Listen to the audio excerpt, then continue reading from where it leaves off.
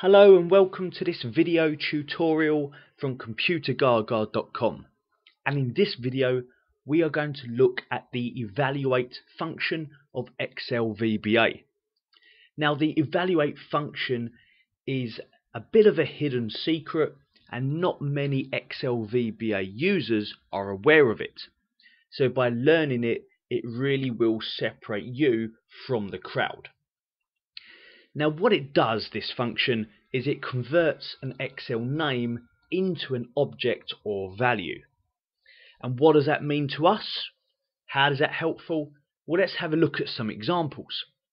And the typical example that you normally find it used in is to simplify worksheet formulas. So I've got the editor open here. Let's just create a quick sub procedure and I'll just call it evaluate uh, test. That will do. And I've got the immediate window open so that I can print answers down there and we can see what's going on.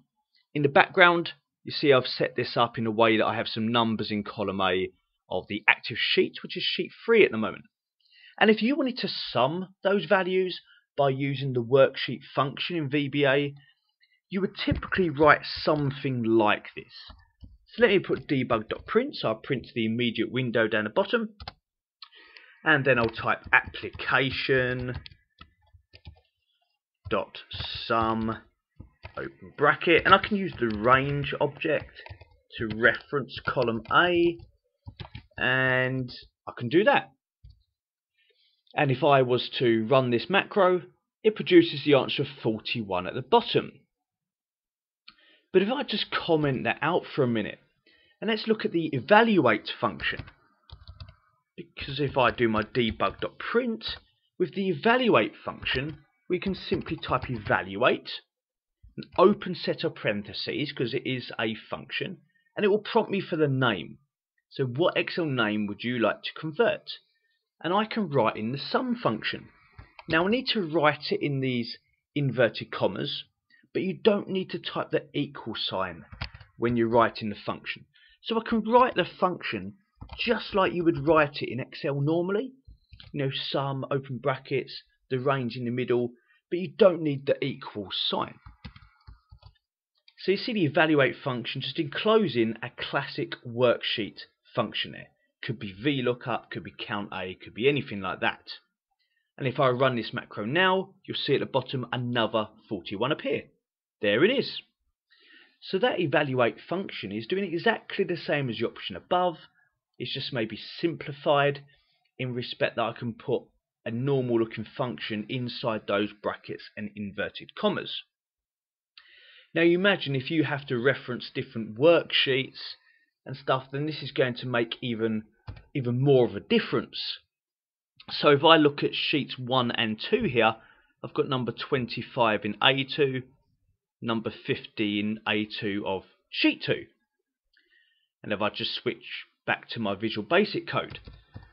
So normally to do that, you might be seeing code that yes, I'm aware this can be simplified with kind of variables and stuff. But just to take it at face value, you would have uh, stuff like this, worksheet sheet 1, dot range, A2, dot value, and you would have that and kind of multiplied. And if I just take a copy of all this code you'd have that again. This time it's sheet 2 and you have something kind of unwieldy like that you know to get this this task done. Let me put a debug.print there so we can see this working. And if I was to run that I get sorry, uh, 1250. I was going to plus them. I've realised I've multiplied them. Let me change that to a plus. Not that it matters that much, but um, multiplication I can't really do in my head so easy. Let me delete this stuff. So I get 75. 25 plus 50 is 75. And that's more than adequate. I've used a line continuation character there to move to the next line. But look at the version that I can use with the evaluate function can just do debug.print, simply write evaluate, open bracket, and then in quotes, I can just put sheet 1 A2 uh, plus sheet uh, 2 A2. We can just write it like that. If I play that, I get 75 again. So now I'm just simply adding these two uh, values together using the evaluate function and with the sheet references just like you would see in a normal formula which avoids some of the other complications that you would get with using the worksheet objects and the range objects within there. Let me take some of these out again and let me just revert back to the other sheet for the next example. Now this one is going to blow your mind because if you have not seen this function before, some even better news is that when we use evaluate, we don't have to put the parentheses and the double quotes or even the word evaluate. We can simply use these square brackets. So if in some square brackets I use the sum function and I sum column A again by putting in those square brackets is telling it to use the evaluate function. So if I run that macro